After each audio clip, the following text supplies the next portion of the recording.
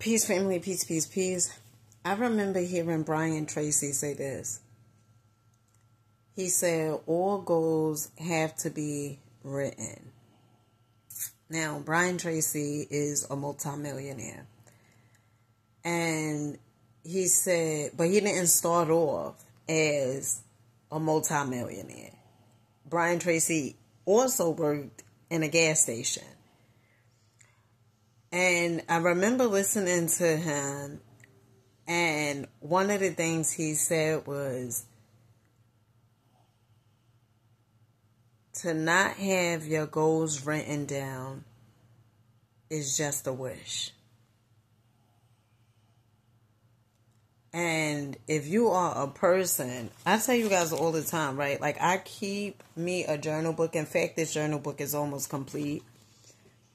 But if you are a person that just feel like your life is just going to miraculously change just cuz because you feel like you know, things just gonna happen to get better. One of the things I would highly like to challenge you on is this.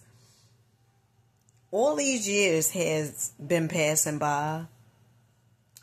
And you know how you kept saying next year is going to be better, next month is going to be better. Has it gotten any better? And and listen, don't get me wrong because sometimes things may move, the needle may move, you know, a little in the opposite direction, but then you find yourself going right back down to where you once was. That is one, because you're not consistent, you're not disciplined. Okay.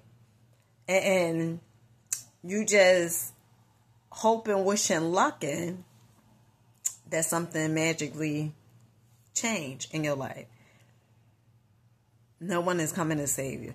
And also, when I got in a personal development space, when I started understanding that I can be, do, have whatever it was that I wanted, your environment plays a major part. So major that is more important than your DNA. So you have to ask yourself, how's your environment?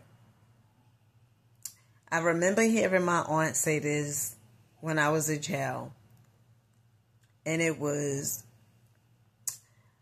tell me who your friends are, and I'll tell you who you are.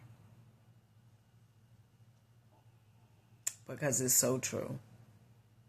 And I will often say, no, I'm not like, I'm not like her. You know, she just do that. Okay. You be around it long enough, you'll be doing it too.